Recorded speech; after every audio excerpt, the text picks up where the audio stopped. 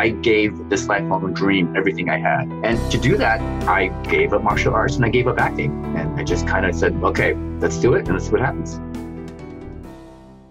Hello, everyone, and welcome. This is Whistlekick Martial Arts Radio, episode 746, with my guest today, Wesley Chu. I'm Jeremy Lesniak, your host for the show, founder of Whistlekick, where all of the great stuff that we do is in support of the traditional martial arts. We're constantly rolling out new things, updating things, adding things, supporting things, and that's why you should visit whistlekick.com. It's our online home, the place to find out about all these great things that we're working on in support of you and the stuff that you love. So check it out. And one of the things you're going to find over there is our store because, yeah, things cost money. And one of the ways that we cover the expenses for these great projects we're working on is selling stuff. We've got everything from protective equipment to fun apparel, training programs, and so much more. If you find something in the store that you like, please use the code if you want to. You don't have to. Podcast15 to save 15% on the stuff over there. If you want to know more about the show, we've got a separate website, whistlekickmartialartsradio.com. We bring you two episodes each and every week, all under the heading of connecting, educating, and entertaining the traditional martial artists of the world. Now, if our work means something to you, yeah, you could buy something, but there are plenty of other ways that you could help us out. You could tell a friend. It's a great, free, quick thing. Share this episode on social media. Let people know hey, there's a show. You'll like it. Check it out. You could join our Patreon, maybe pick up a book on Amazon, leave a review. That's free. If you're interested in our Patreon, which has a bunch of different tiers, and we've got stuff in there so you can actually make it a tax write off if you're a school owner, patreon.com slash whistlekick.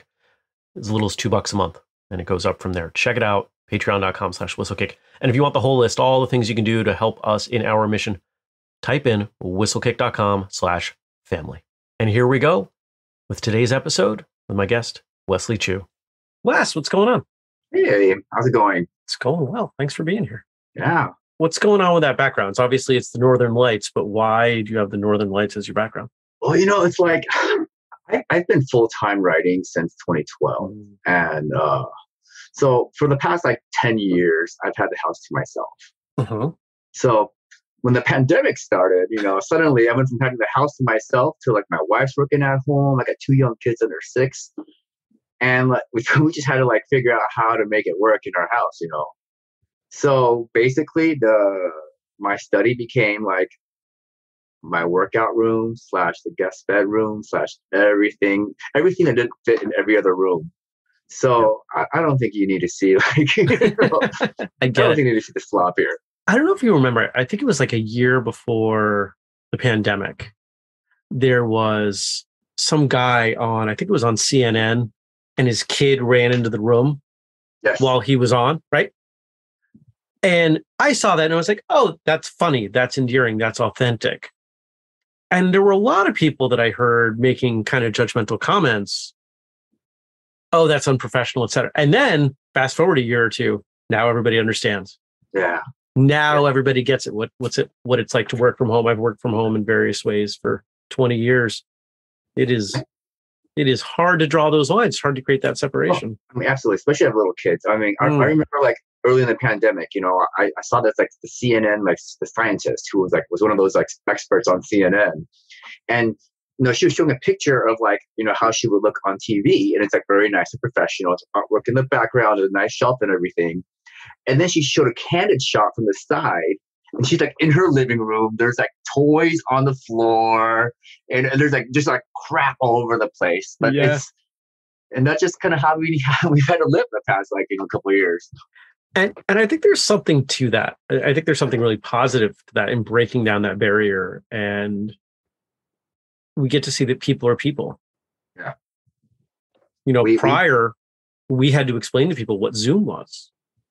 I would never heard of Zoom until like six months into the pandemic. We've been using so. Zoom since 2018. Okay. Like early 2018. So uh makes our job easier. I mean, j- just the idea of like, you know, breaking that barrier between, between like everybody needs to go to work mm. to like mm. now, if we can do all our work, we can avoid a two hour commute, you know, why don't we do that? Let's let's improve let's let's you know, if we can keep quality of work going and improve our, our home life and spend more time with our kids and like not have to drive and like, you know, waste gas and, and, and rubber as much, why, yeah. why don't we? And not put on pants. Yeah, not put on pants. I mean, it's it's funny because like before the pandemic, and I used to do I do a lot of conventions, I go on tours and everything. Sure. So I have like home clothes and then I have like touring clothes. Right. And now, like you know, three years into it, I don't. have all I have is like Under Armour. You know, I really have to. or or your your your professional clothes are just tops. Oh no, my my my professional clothes is like Lululemon. You know, whatever. Like I don't.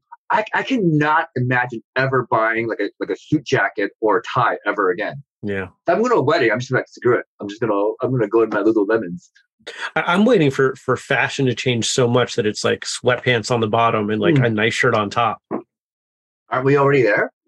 Well, for for some people, I mean, I, am the I, am wearing actually I have some Under Armour uh, pants on and and you know a plain tee, but there are times where I'm doing you know work with clients or something, and I'll put on a button up shirt. I'm not changing my pants. Oh yeah, absolutely. They're not going to see. You know?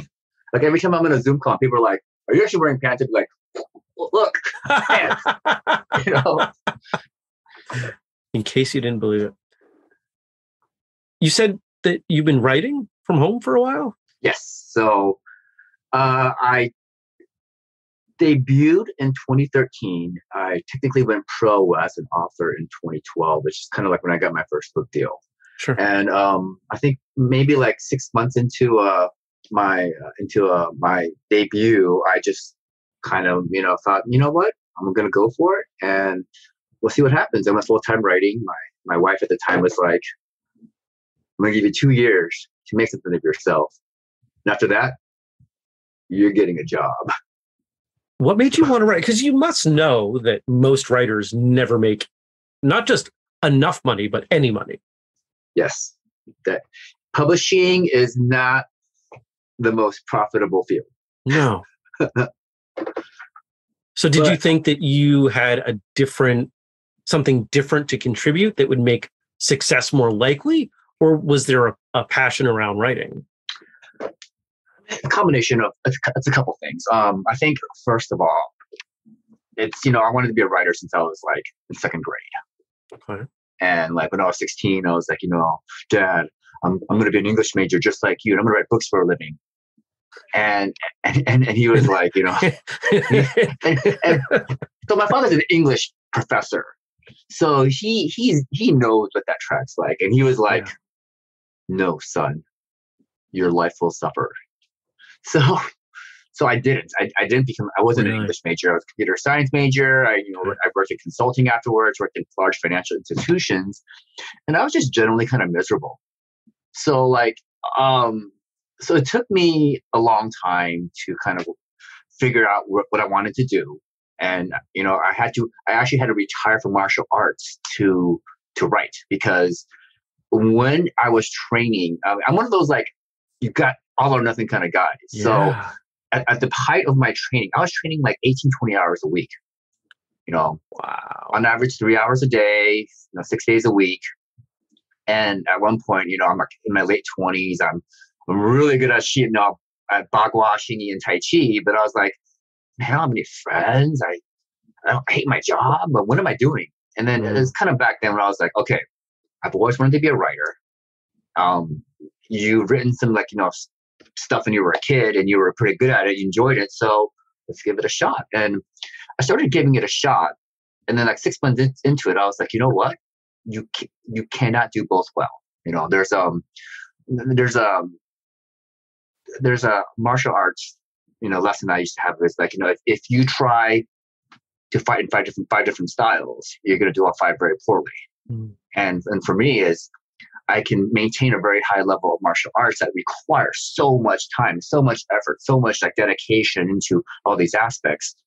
Or I can give this writing thing a shot if I really want to do it. And six six months into it, I realized that yeah, you know, I, I want to give this a real shot. And in order to quote unquote, you know, put in the time and effort and work into it to, to go pro, mm. I something had to give. And in, in my case, um, it, it became my martial arts. It's it's the uh, uh, the notion of burning the ships.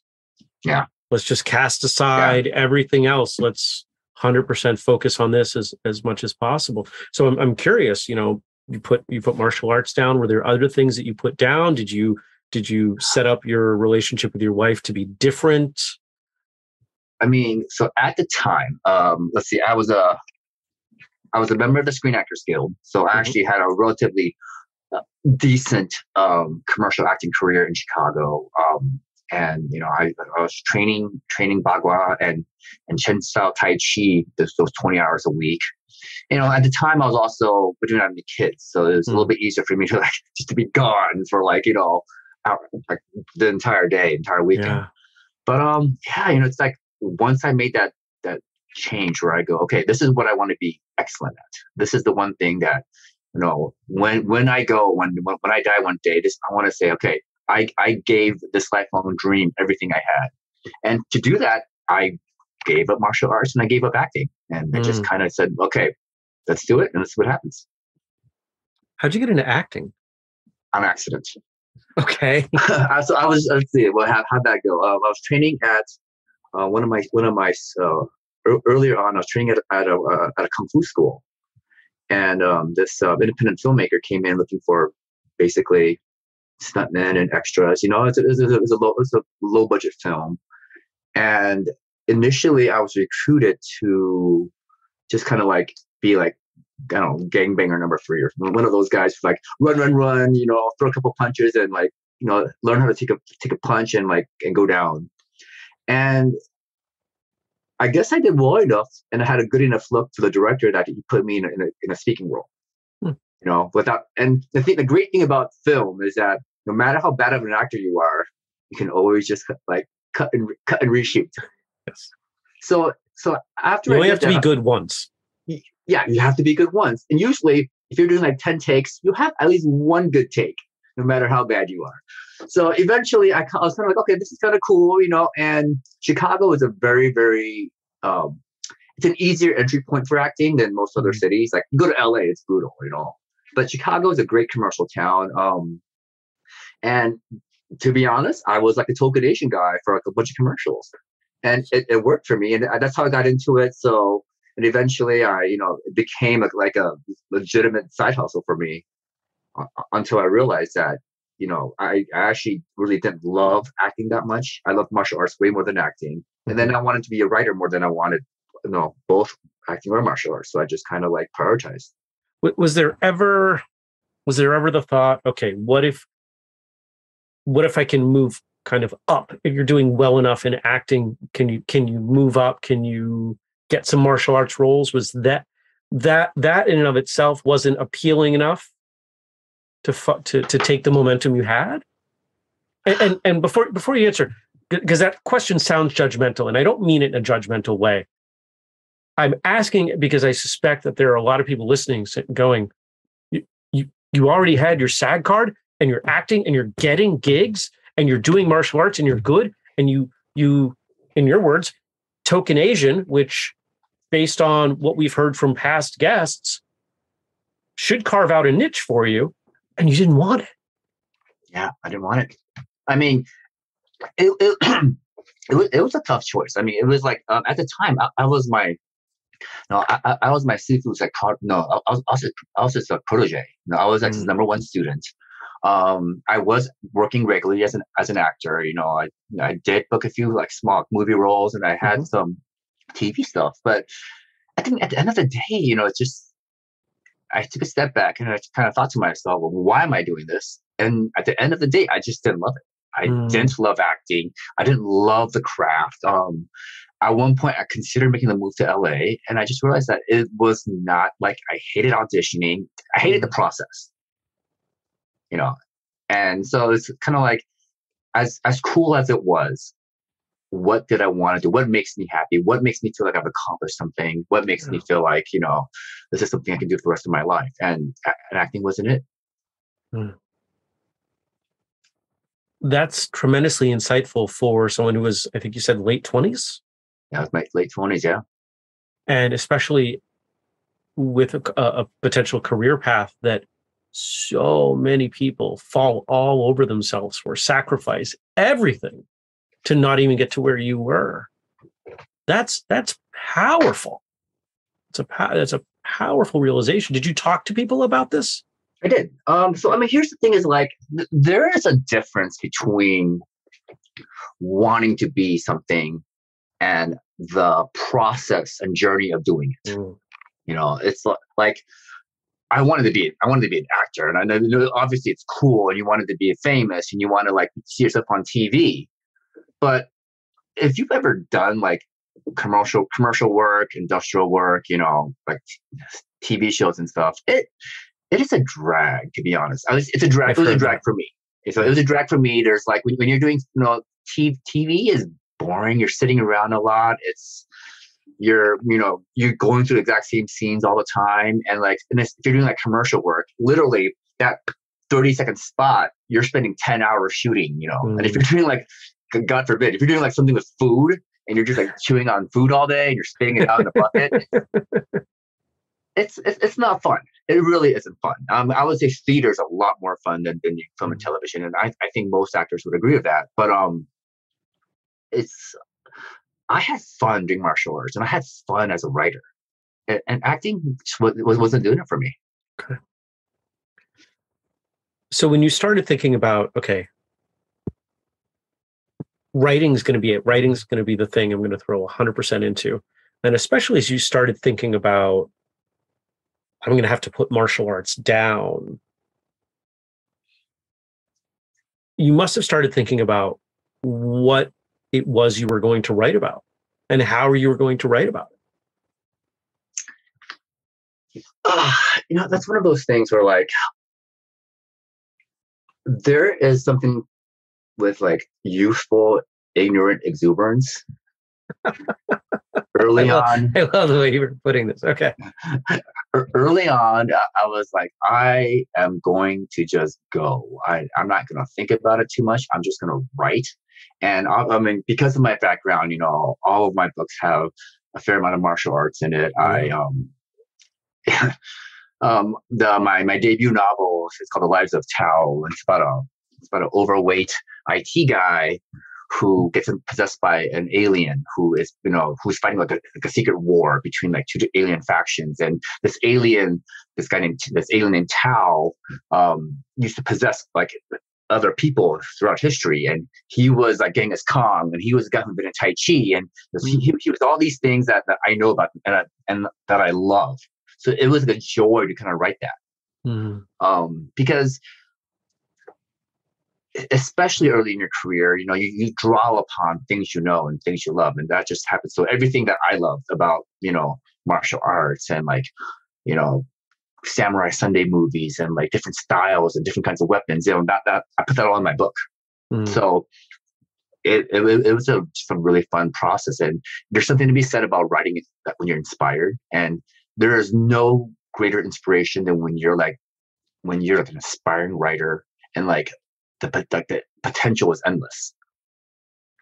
I was less jaded back then. I should say. Sure, sure. The the other thing I'm I'm trying to wrap my head around is it sounds like you found success quickly.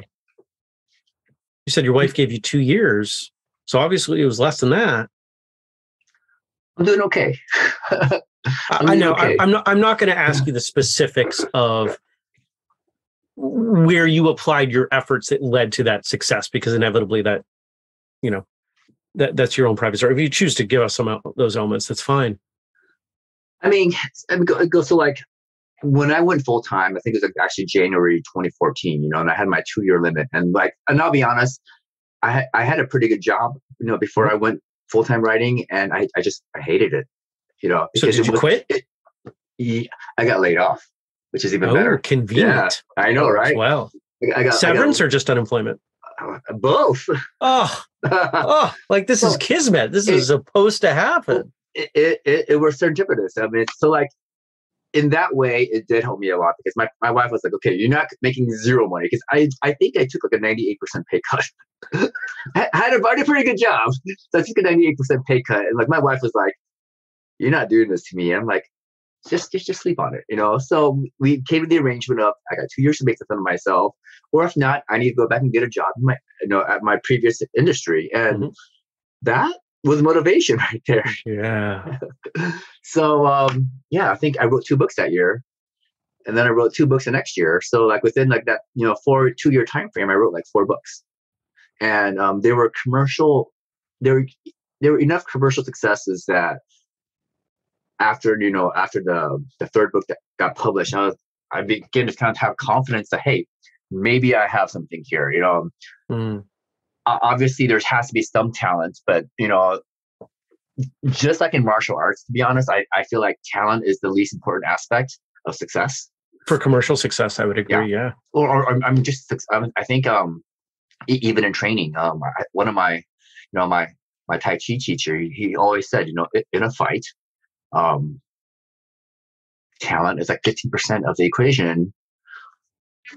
Mm. And uh, what, what, what, did he say? It's been a while since I said this quote. Like, talent was 15%. Um, like hard work was like 25 and the rest is all aggression.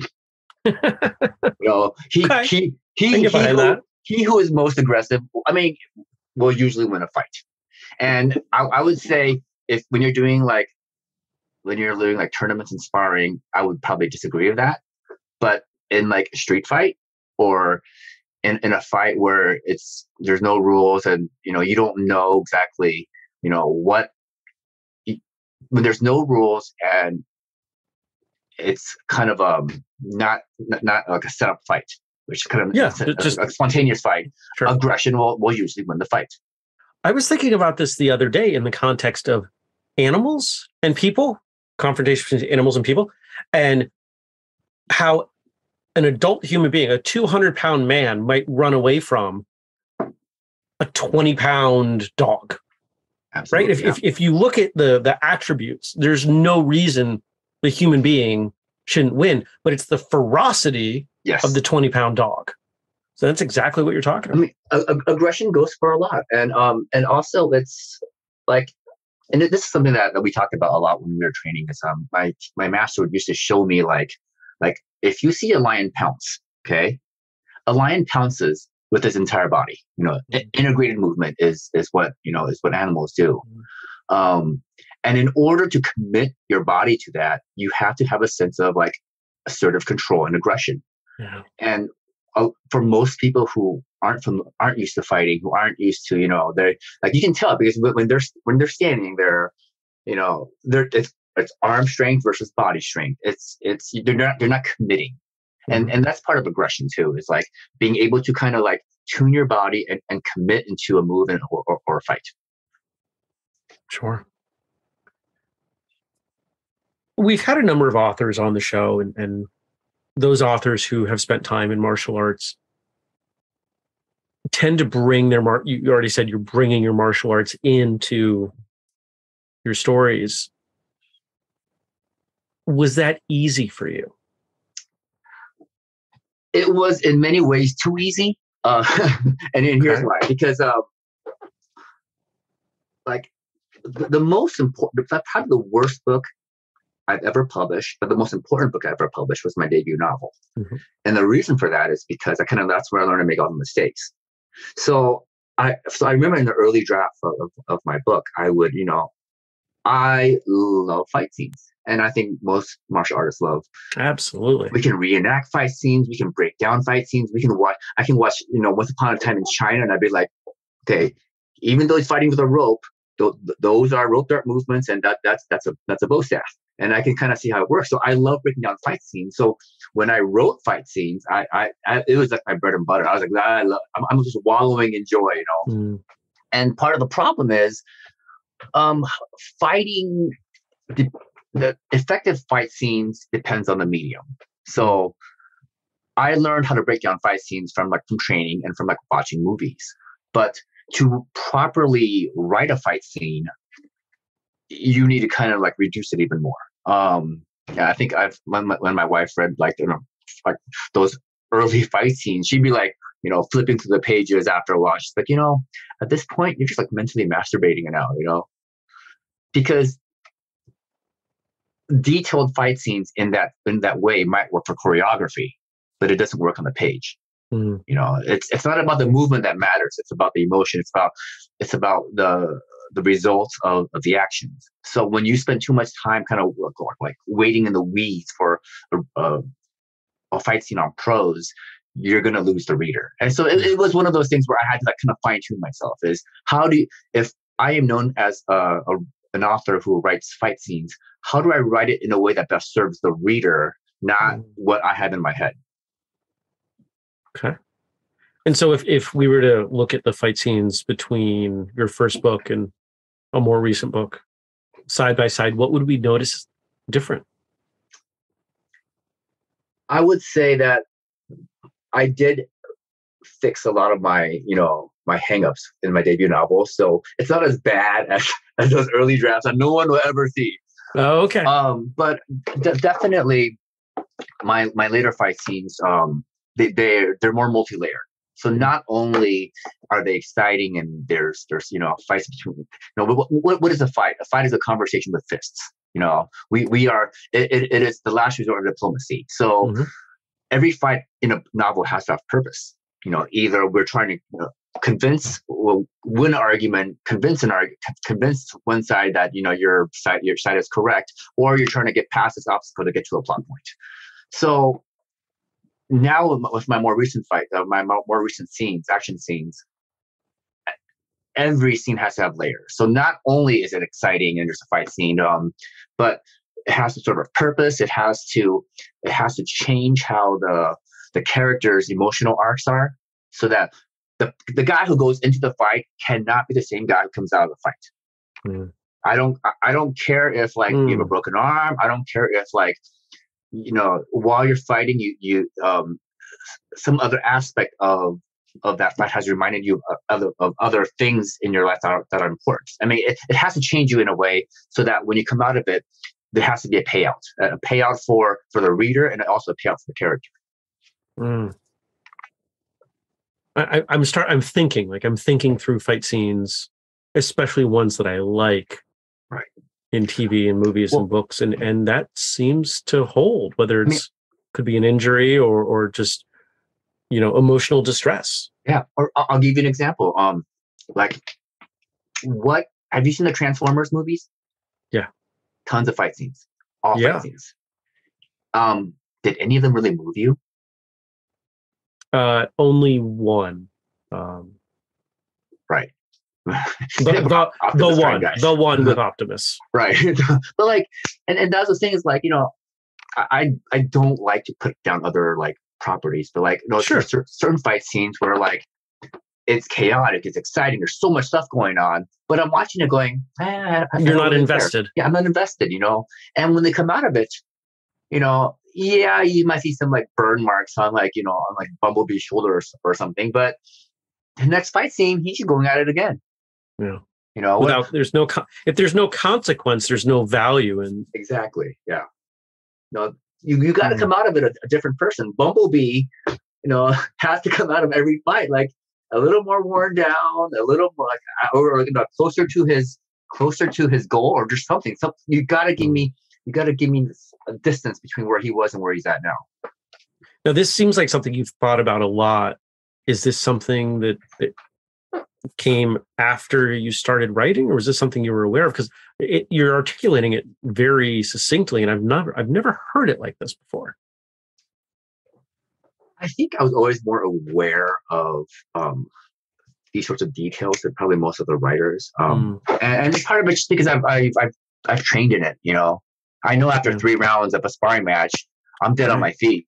Uh, um, I I know that like if you know, you watch you you, know, you watch all these like these like D and D shows where like there's like a, the, the, the fighter is like walking through the doing a dungeon crawl. He's got he's got his like his broadsword in his hand. He's holding it, and I'm like, dude, have you held a broadsword for more than like ten minutes? I said I've yelled the same you thing. Know? What is the They'd be dragging that thing on the ground? What is the weapon weight? I mean, uh, and you know, if you, and if you look at most actual weapons, they're not heavy. You know, like a, a sword, you, almost most swords, unless you're talking about those double, the huge, huge double handers, are like under two pounds.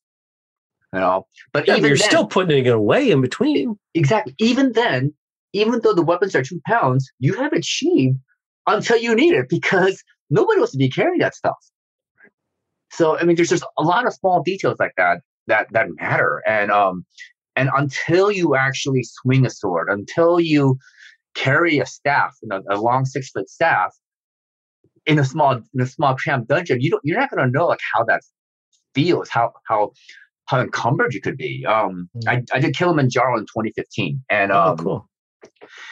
And there's you know, and we you know you were we're hiking all day, but when you camp at night, sometimes you're not camping on flat ground. You're often not. You're camping at like you know three four percent inclines, and you wake up the next day like at one end of your tent because you, you know slid or rolled, rolled around, and and that happens, and that's that's what real life is like when you're camping not in, and like in some like mm. manicured lot. So so as a writer, when you want to keep things realistic, you know, you you have to keep pay attention to these small details. Um, I, I I've seen too many scenes where like you know dudes don't ever reload their pistols. So they're just, they're just shooting, and, and I'm like, at some point, you got to run out, bro. You know, I don't. I don't. And, how- any anyone who shoots watches those scenes in movies, and they're like, "What? One, two, okay." I, I wasn't aware that that was a 426 round magazine. Well, pro writing tip: readers are generally pretty good about mistakes you make. You know, mm-hmm. things here and there, and like if you don't get everything perfect, they'll, they'll be like, ah, "I caught that," but you know, whatever. We'll, we'll move on. But there are two things that you can never get wrong in books. First one is guns. Okay. Mm-hmm. I made a mistake where like I I, I make clip, clip and magazine interchangeable in my first I was just gonna I, was, I know. No, he's yeah. he, he called it a clip because there's there's so to yeah. listeners, if, if you're not if you're not aware of gun culture, um a magazine is the modern thing that holds ammunition. A clip is like the World War One era yeah. thing that bullets were attached you know? to. Yeah. and and a lot of people use them interchangeably. And there's a there's a um, group of diehard gun nuts even today who get really bent out of shape if you misattribute. So absolutely, yeah. So the first one is guns, and the second one is horses. Oh. If you oh. get horse horse stuff wrong, the horse people come after you. Did you get something horse wise wrong? I mean, I wasn't too bad.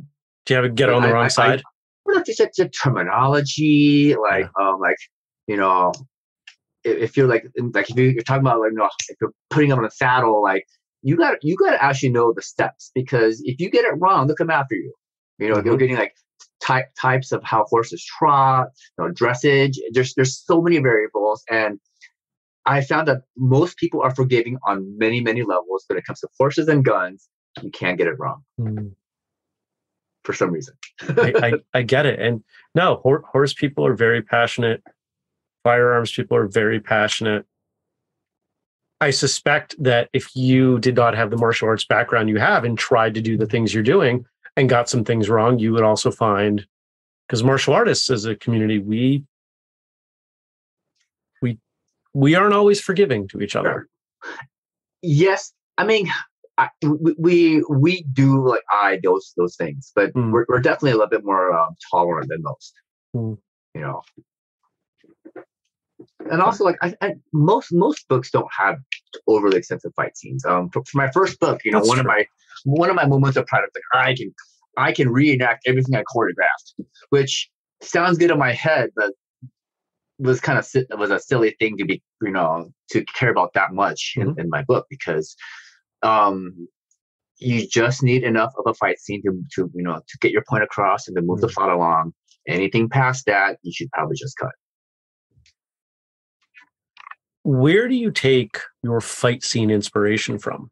If it's if it's not generally well i shouldn't say this but i'm getting the sense that the fight scenes you write in books are probably not the way fight scenes in books are often done because most fight scenes in books are not from martial artists.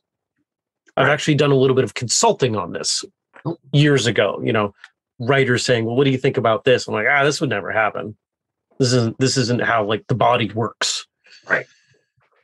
But it you know tv and movies it's a lot easier for us to to see you know how that industry that side of the industry works. You were even part of it. Right. Well i mean i i, I think it helps that you know I, I did dabble in several different styles, mm-hmm. and it you know w- once you have enough of a foundational knowledge of like for me, um, my, my view has always been um, at the end of the day, all martial arts styles end in the exact same place. You know, so but it, it's interesting to see like how you get there, you know, how training, uh, when you train a certain style, when you, when you train, you know, Krav Maga, you know, what, what, what, what are their foundation like? like what, what, how do they gauge distance? How, you know, how, how do, how do they fight with beats? You know, they, they, and then, or like if you, if you train in like Tai, you know, Tai Chi and fight Tai Chi, you know, what what are your what are your um, what are your default stances? How do how do you, you know what, what is your movement? You know, Bagua always shifts left and right. Everything is always about when you fight. Almost your first movement is to get out of that center line, move move to like a sixty degree angle where uh, where someone's someone's defenses tend to be you know a little bit harder for them to kind of manage. Sure. So so once I had that kind of information, um, I I usually don't start with that. You know, when I when I write a scene, I, I start with um, what are my characters trying to do, and then how do I make them interesting people? How do how how do I how do I make this scene dynamic? So so I used to be more like you know here are the eight following sequences of, of this fight. Now now I lead by what makes this fight the most interesting, and most of the time it's not the actual fighting. It's everything surrounding it. It's you know it's it's the emotional compass. It's the you know it's it's the the thoughts that the person's going through or sometimes it's even something as easy as like you know when somebody's fighting what goes through their head? Most, most of it's muscle memory because you know because that's that's how that's how that's why we do forms you know 500 times. Right. but but a lot of it is like you know w- what is your focus on? It's on the eyes it's on the feet you know? If you know how, how, long is their guard? There's there's all these aspects that that can that a, a martial artist can kind of like you know kind of kind of spot what while they're fighting that kind of explains where they come from. Mm. so kind of it influences their background. So i i, I do i do uh, basically it's character development through fighting. You know because because you're using their point of view to kind of ascertain certain aspects of every every um, every fight, they can. It you're explaining how they train, what their background is, and, and that's kind of like that's the layers that I'm talking about when you want to like have good fight scene. Is every fight should do m- multiple things. Hmm. It should be just character development. It should show what you know where they're at and where they're going to be at. It should move the plot along. It should do like it should do you know half a dozen things that kind of like after the reader comes out of it, they understand so much more about the characters. Hmm. Have you written anything that makes you think, oh, I want to go train? Have you oh gotten yourself excited enough? No. You know, yes. I mean, I think so. What happened was near the end of my martial arts career, know, I was training with this, um, with this, you know, in, internal master, and um, and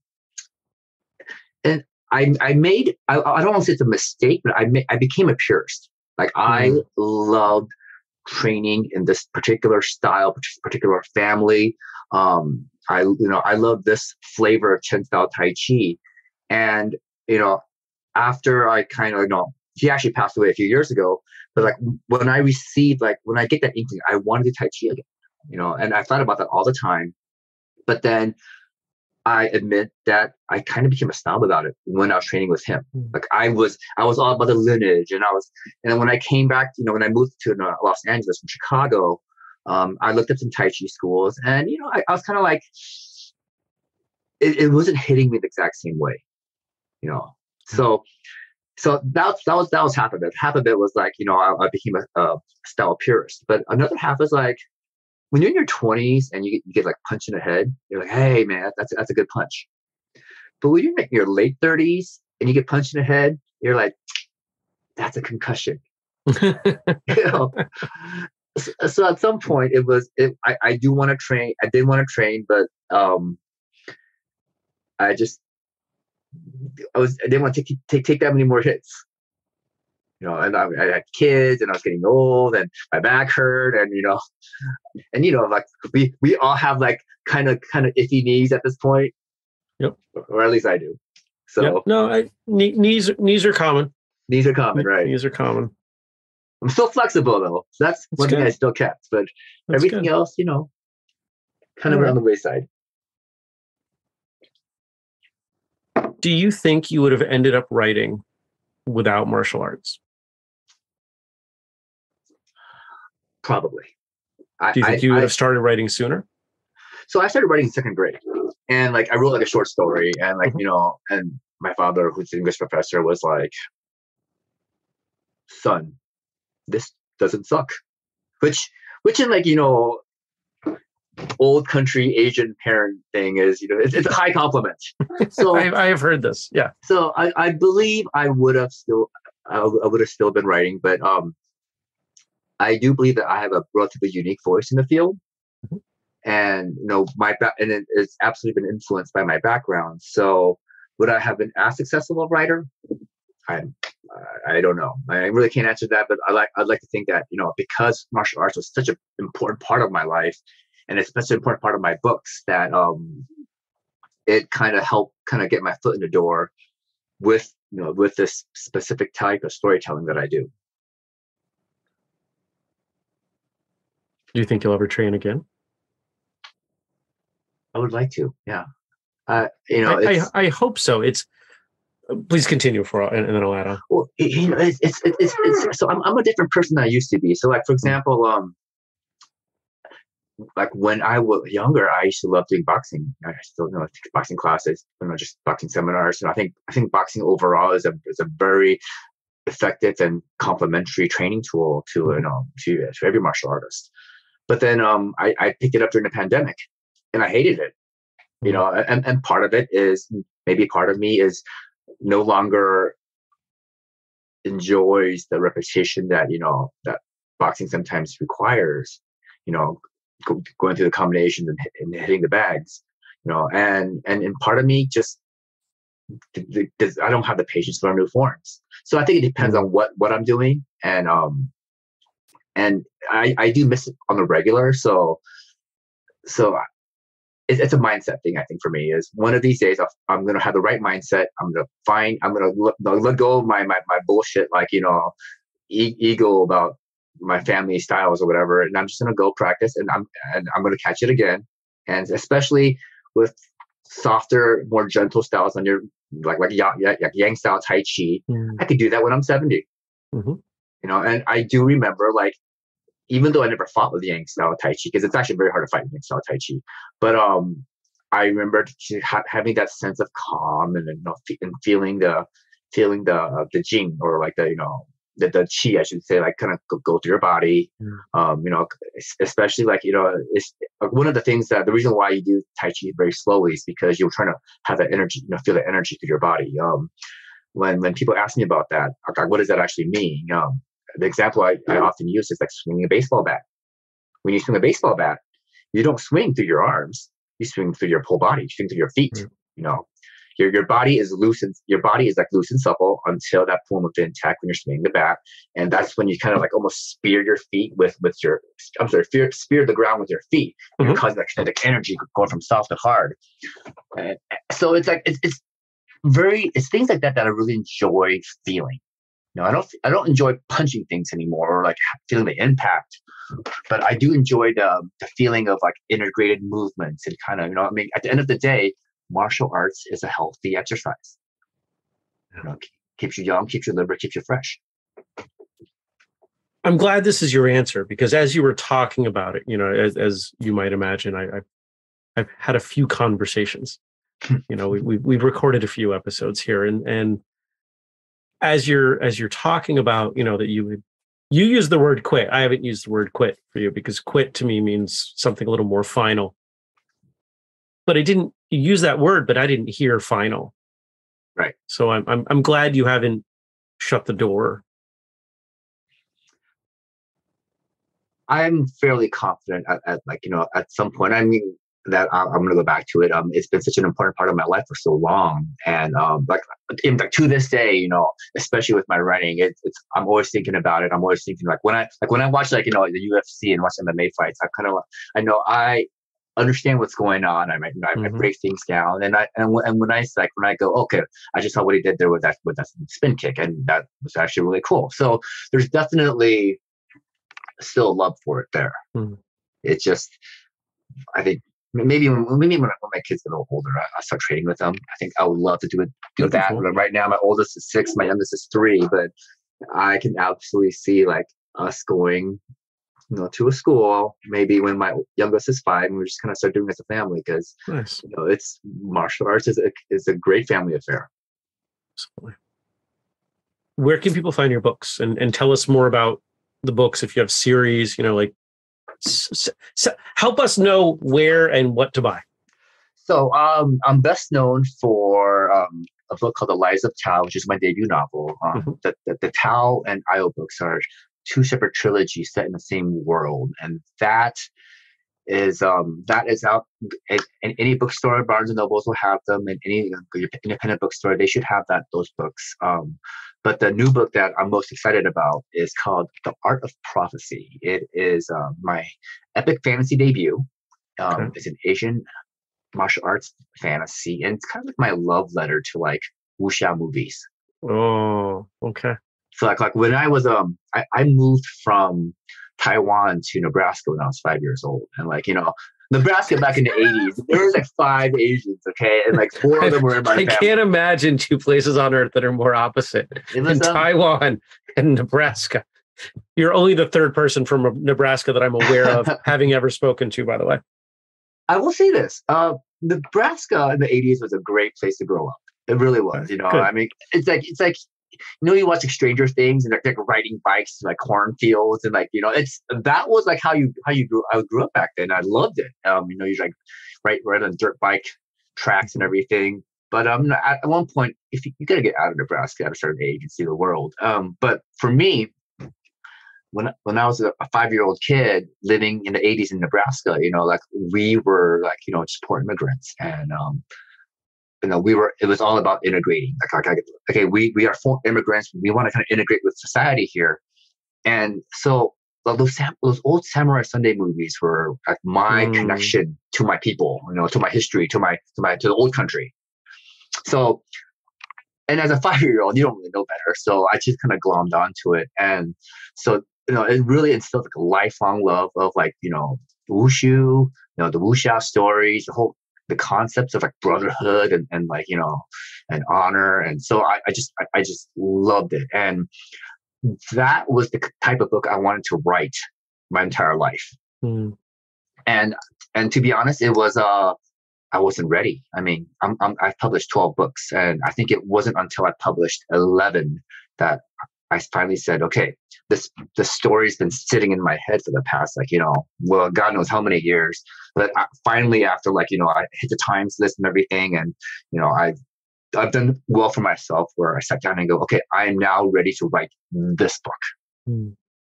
So, yep, the art of prophecy is like um, it's a retelling of the chosen one trope. Um, it has many kind of aspects of like wuxia movies, but it's told in a in a Western style storytelling. Mm-hmm. So um, so it's not quite like how like you know sometimes it's it's, it's not quite anime. It's not quite you know like, like the, the Chinese way of storytelling is different than, than the mm-hmm. Western mm-hmm. wow. So I definitely am more of a Western style, but I'm also using a lot of inspiration from you know from like Romance of the Three Kingdoms, from like you know, the, the old Fist of Legend movies, and Once Upon a Time in China, like some stuff from 36 Chambers of Shaolin, um, Hero, House of Flying Daggers. So a lot of the classics. Now, here's a, a last question before I turn it back over to you to close us out. Writers seem to be quite divided as to whether or not they ever want to see their books become movies. Where do you sit?